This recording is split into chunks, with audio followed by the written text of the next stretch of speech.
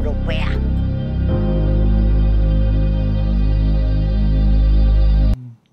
Pues no, no hay foto. Si no Eso hay era foto, para no hay decirlo foto. discretamente durante la cortinilla. Pues si no hay foto, no hay foto. Bueno, no tenemos foto de esta nota, pero eh, bueno, esta más bien es en Estados Unidos, no es tan europea, pero es internacional. Cierre los Huelga- ojos e imagínenselo. Exacto. Huelga en el mundo de los videojuegos. Sí. De los actores de videojuegos, que fue lo que más me sorprendió. Sí, fíjate.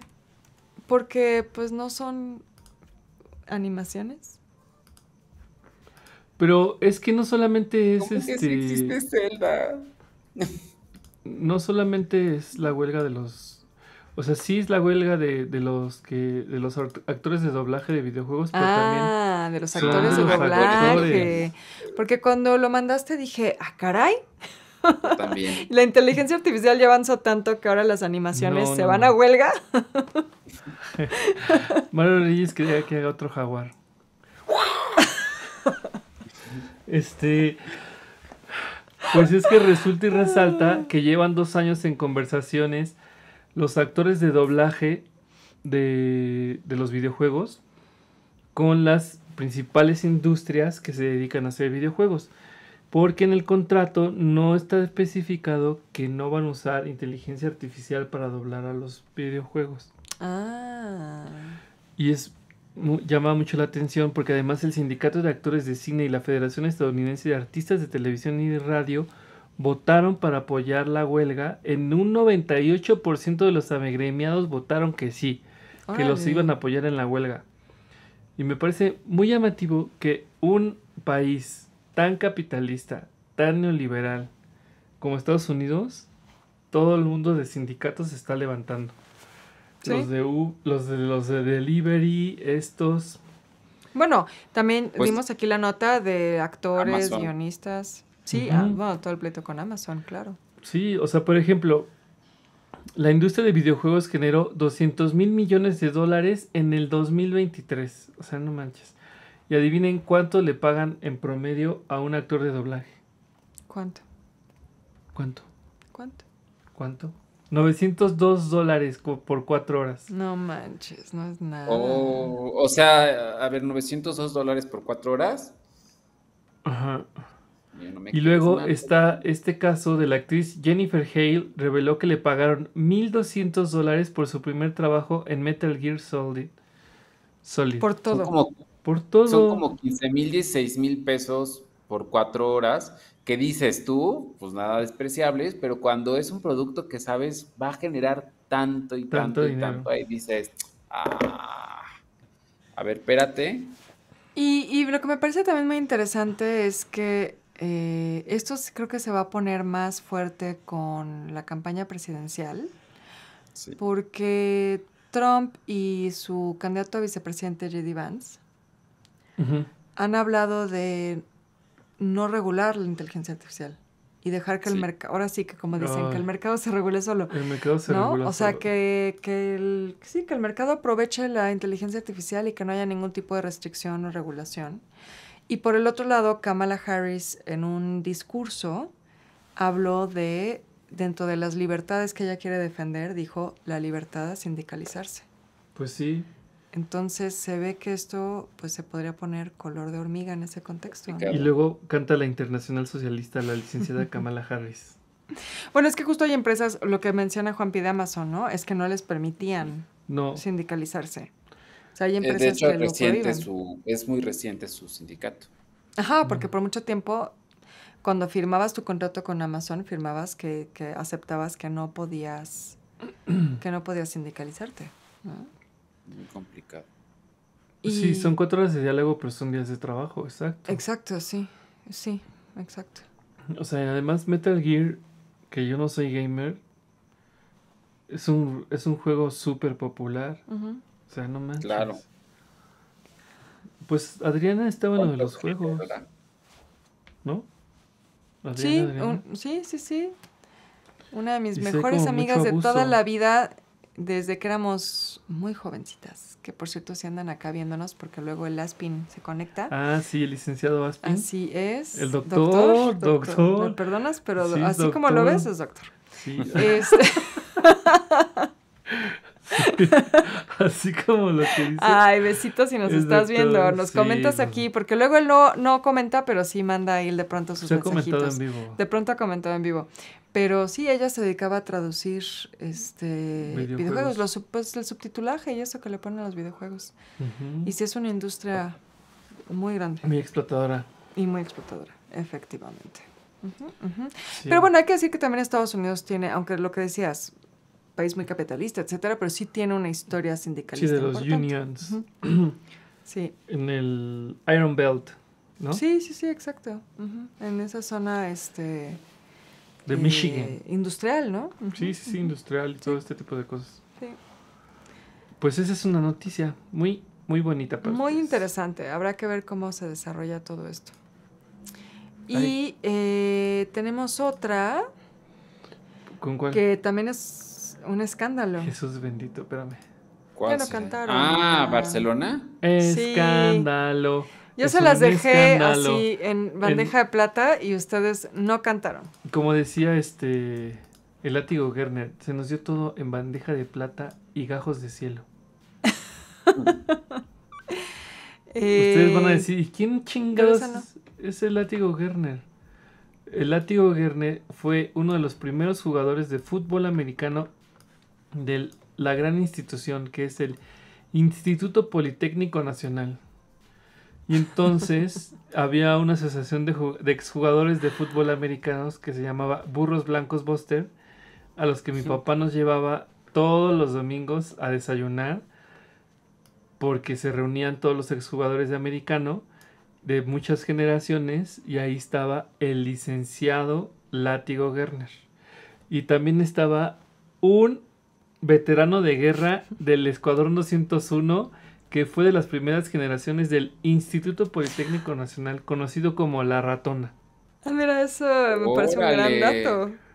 Eso me parece un gran dato. Iba con sus medallas y su gorrito y su esposa, bien amables los dos.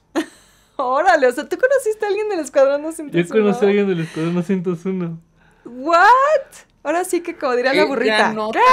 que muy a mi nivel. Desayuné enfrente de él, me estaba chingando unos chilaquilitos y él su frutita así con su con su melón, ¿Es en serio? ¿Por qué no Y sus sabía condecoraciones. eso? con sus condecoraciones y su gorrito. O sea, no entiendo cómo terminamos ahí, No. Ah, por lo que dije del látigo. Porque yo les dije que les dejé en bandeja de plata lo de escándalo. Porque él decía, se nos dio todo en bandeja de plata y gajos de cielo. Ah, muy bien. Ah, Pero pues muy qué gran importantes, anécdota. muy importantes estos jugadores. La de la ratona, ¿eh? La ratona. La ratona. Pues bueno, ¿Cuál sigamos con la nota, porque ya nos quedamos hablando de la ratona y de esta mágica historia de que conociste a un que te comiste tus chilaquiles. Que me estaba comiendo mis chilaquiles Exacto, viendo de un- veterano de guerra.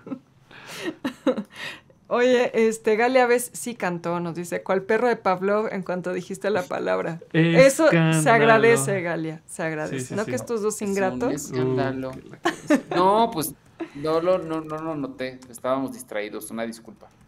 Bueno, pero pues esto es, es la polémica del momento en redes sociales. En las redes sociales de historiadores del arte, Sí. muy discutido, muy debatido el asunto. Y tías enojadas, tías y tíos enojados con la Muchas vida tías y tíos también. enojados. Sí, Sí. la verdad. A ver, yo en un principio también me escandalicé, he de admitirlo. Eh, esta nota nos la mandó nuestro queridísimo cronista de Pues es que a ti te gustan las fake news.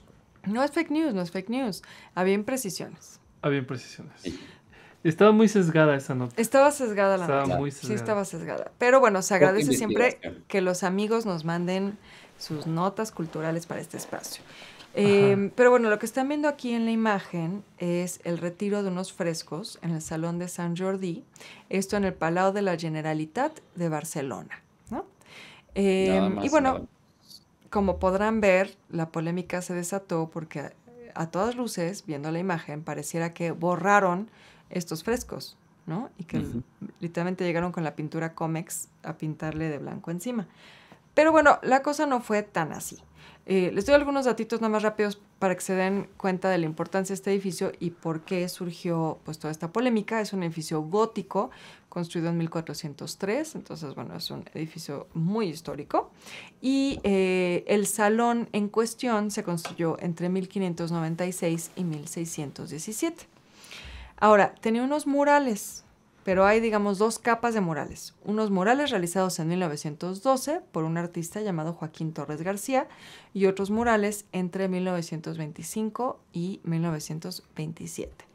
Estos murales no son del edificio original. Exacto, no son, si no son ni góticos, ni barrocos, ni nada, son del siglo XX. Ahora, eso no significa que no deban conservarse, ¿no? Pero solo para, para ir desmenuzando esto porque está un poquito complejo todo el asunto. Em, estos murales de los años 20 tenían escenas que, entre otras cosas, representaban a Cristóbal Colón y a los reyes católicos. Entonces también mucho se ha discutido sobre si esa es la motivación, digamos, de eliminar estos murales, porque bueno, sabrán que eh, Cataluña, pues no es que les encante el tema colonialista de los reyes católicos, ¿verdad? Hay, hay, hay una, pues, compleja historia también, ¿no? Em, pero bueno, se estaban llevando a cabo obras de restauración. Desde 2018 se había abordado este tema y eh, pues los frescos fueron removidos y sustituidos por un revestimiento blanco. Esto es muy importante. No se borraron, no se les pintó encima, sino que fueron em, removidos. Ya, estaban desde hace varios años. Ya eh, habían hecho una comisión hace varios años para justo para estudiar este retiro de los de estos murales y estaban en, cosas movibles.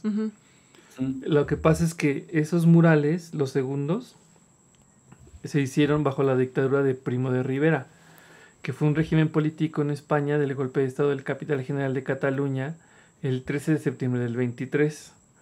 Entonces era como muy, este, sí, como muy, muy centrista. Y su discurso, ¿no? Ajá.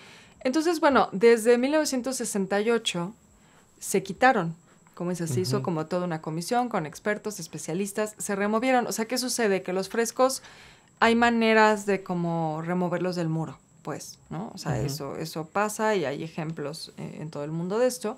Entonces, lo que, lo que hicieron desde 1968 fue removerlos.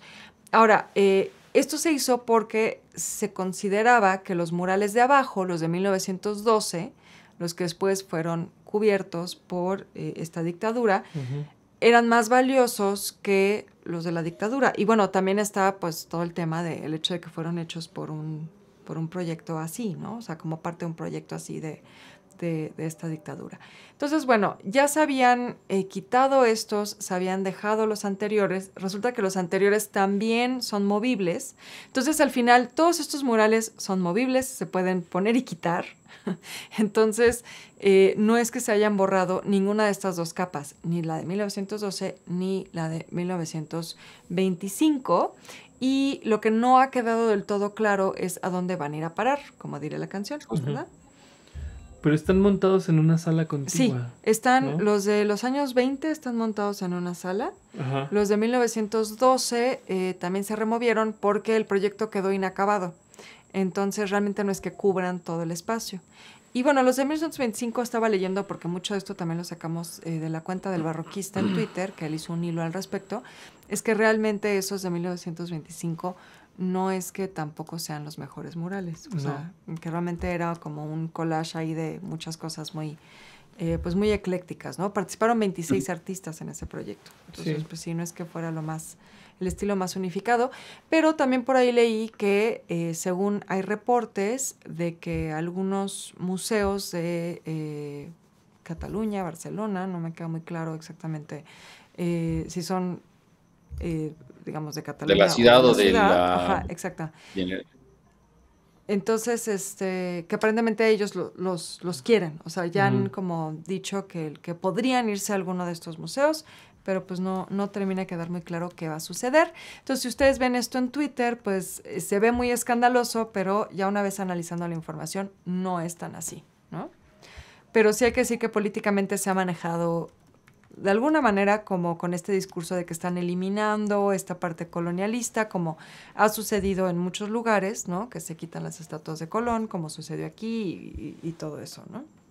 Oye, Lola Herrera nos comparte una información que es bastante interesante y pertinente. Dice, el estrapo o atrapo es una técnica que se usa mucho en Europa para retirar pinturas del muro.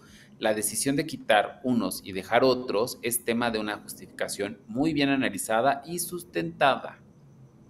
Sí, totalmente. Eso es lo que hicieron por la técnica de estrapo, es que los, los removieron.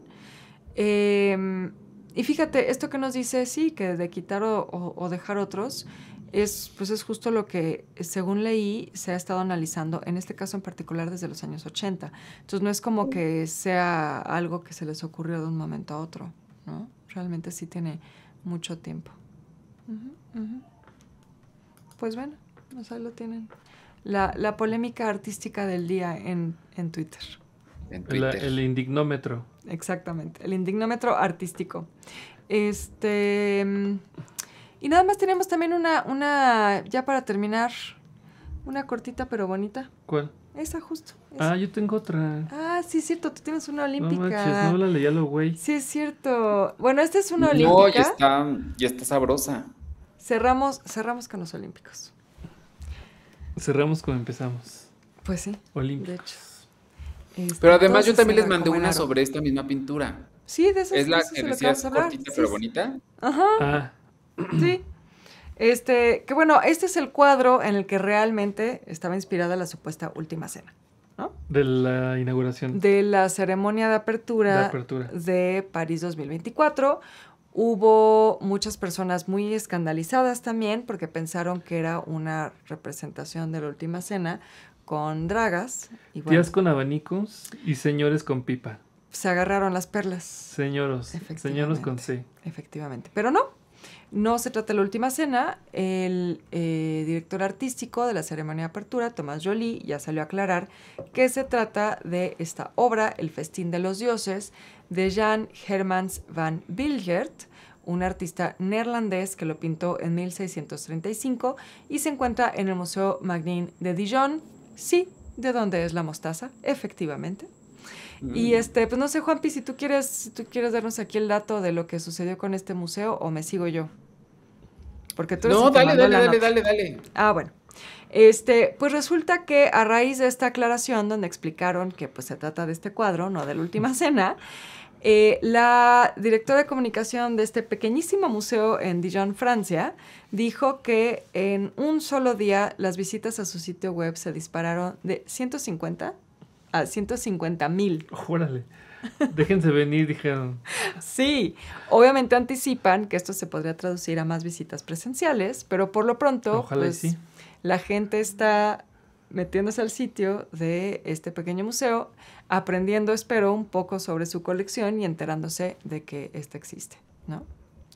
Claro, y, a ver, algo también que creo que es importante mencionar sobre, o sea, qué bueno para el museo, pero también es importante mencionar sobre el drama de los olímpicos, es que, pues, era un momento en el que todo estaba muy relacionado con la historia griega de los Juegos Olímpicos, ¿sabes?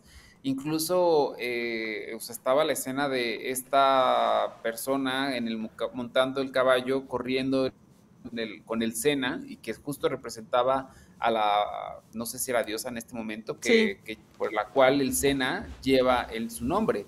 Y habían como muchos elementos. Yo creo que sí pudieron haber hecho eh, a lo mejor algún juego con la última cena, ¿no? Con esa idea de que hay una similitud. No dudo que pudieran haber sido conscientes, pero la realidad también es que, a ver, eh, la última cena, como la han mostrado, no ocurrió así. O sea, seguramente fue una situación mucho más paupérrima eh, y en otro contexto, no, no podemos ser tan, o justo luego creo que la mayor parte de la gente que dice o que habla de la generación de cristal, pues es la que se está quejando de esto, ¿no?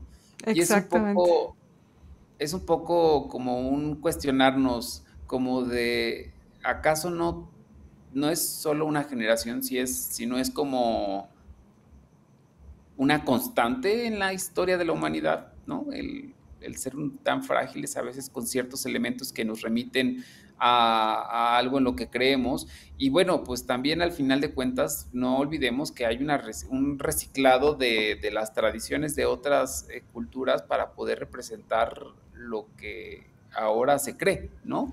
Sí, totalmente. A ver, quizá este artista, considerando que es una obra eh, hecha pues, al menos 100 años después de la última cena, o bueno, de que viviera este, Da Vinci, porque él muere en, en, 1519 y esta obra es de 1635. No sería extraño pensar que quizá este pintor se inspirara en Da Vinci, en la última cena. O sea, no sería para nada extraño.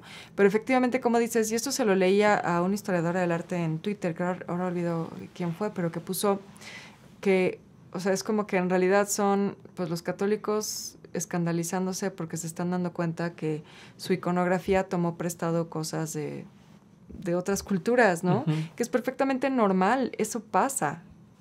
El este, secretismo. Y, ajá, y claro que va, a haber un shock, ¿no?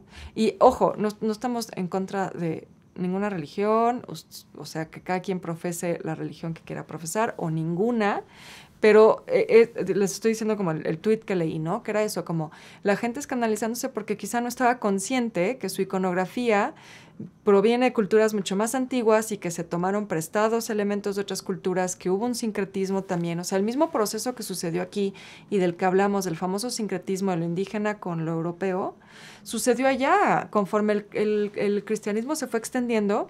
Y aquí lo hemos platicado, les hemos contado, por ejemplo, la historia de Santa Claus y cómo posiblemente sea, su origen sea en Odín, ¿no? Esta figura mitológica del norte de Europa. O sea, es decir, hay, hay siempre, pues, estos procesos en los que conforme eh, se iba evangelizando y cristianizando a otras regiones de Europa, pues también iban adoptando elementos de su iconografía, ¿no?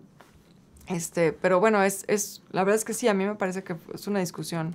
O sea, que de verdad yo no podía creer los niveles que alcanzó eh, esa discusión. Y, y, sobre todo porque en el fondo, o sea, a mí me resultaba como un poco ridícula toda la, la, el debate, que los olímpicos fueron creados por los griegos originalmente, que era una cultura completamente abierta a la homosexualidad. Entonces es como, no están ni siquiera entendiendo en qué evento están.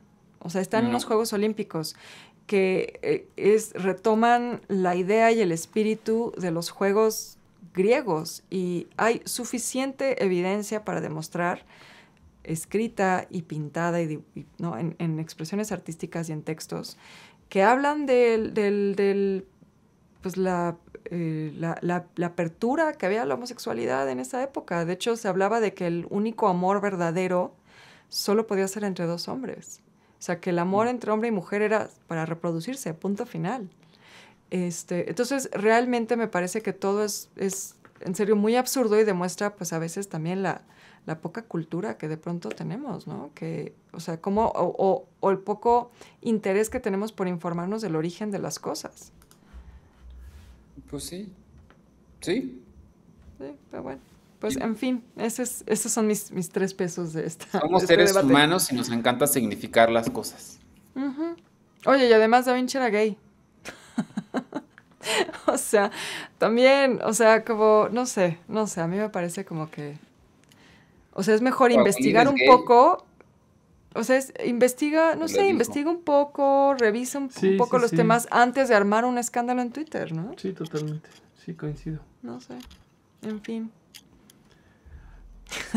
el coágulo. El coágulo. Sí, no, sé, no, no, no, tengo muy bien en claro mis clases de medieval ni de la antigüedad, pero, o sea, cuando empieza el cristianismo, el, cuando toma auge es por Constantino, porque el imperio romano ya está cayendo y lo que le daban los cristianos era como una organización, o sea, los cristianos están muy bien organizados, eso era lo que le daba.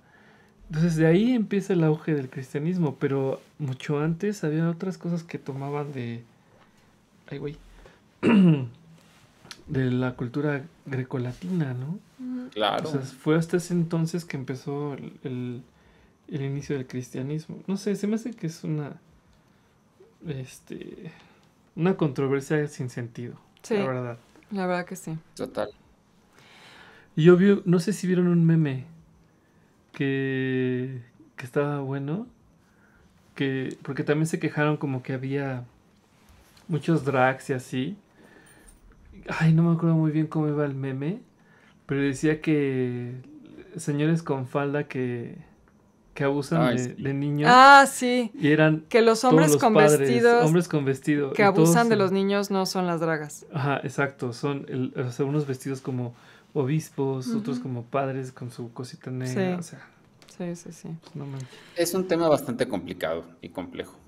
Eh, aquí mi Point nos dice la imagen, eso, la imagen de la última cena fue pintada por una persona de la diversidad sexual que iba en contra de muchos cánones de aquel entonces. Claro, porque también hay que pensar que, o sea, Da Vinci no es que fuera la persona favorita del, del, del Vaticano, ¿eh?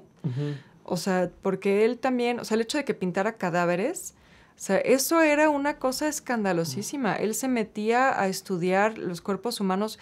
O sea, han visto sus dibujos, por ejemplo, del vientre de una mujer y era porque él se ponía a cortar cadáveres, a abrirlos. Yo eso iba con totalmente en contra de la ortodoxia religiosa de esa época. ¿no? Por eso todavía tanto de anatomía. Eh, Exactamente, exactamente.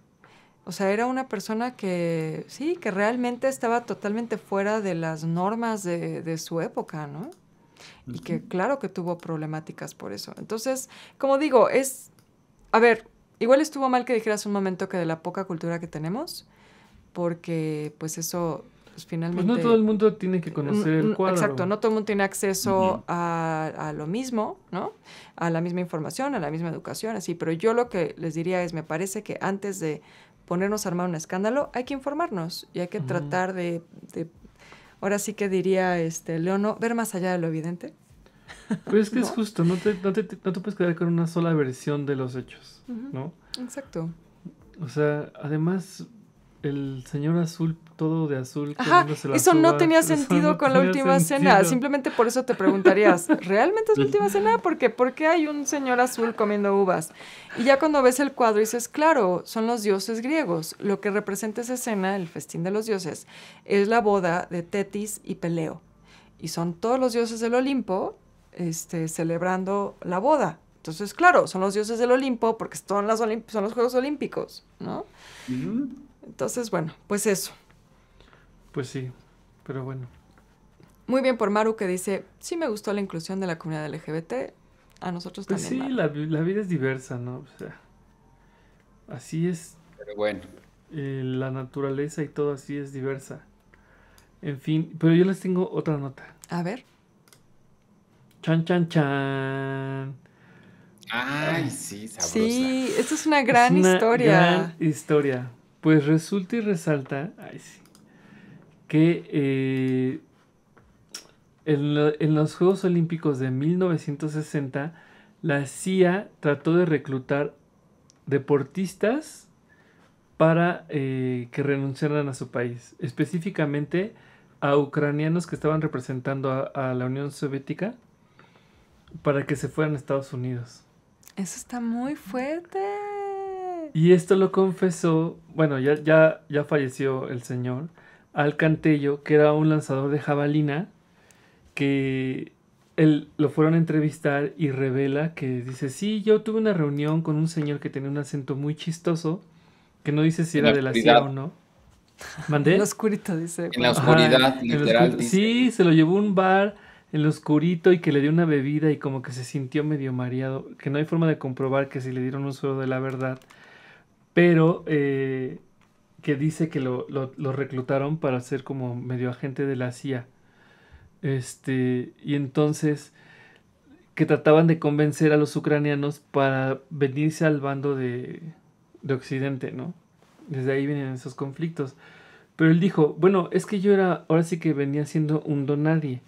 Quien en realidad pudo haber hecho eso era este señor que estamos viendo del lado derecho en blanco y negro, que se llama Dave Sim. No sé si se llama Dave, Sim. Sí, Dave Sim. Eh, que él sí estaba reclutado por la CIA. Y este señor, el que lanzaba la jabalina al Capón, o al que, ¿al que les dije? No, Al Capone no. No, al Capone no. Es decir, como también algo italiano. Ah, Ah, ahorita aquí lo te tengo. digo, ahorita te digo. Al Cantelo. Cántala. Al Cantelo. Este, Alcantelo eh, le dijo que se reuniera con este, con este otro artista, este otro saltador, Igor Ter Olavanciaya, porque había, había hecho algunos comentarios para dejar este para dejar este a ver espérame qué pasa una cosa.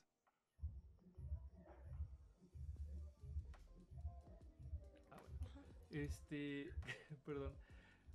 Entonces se escucha bajito.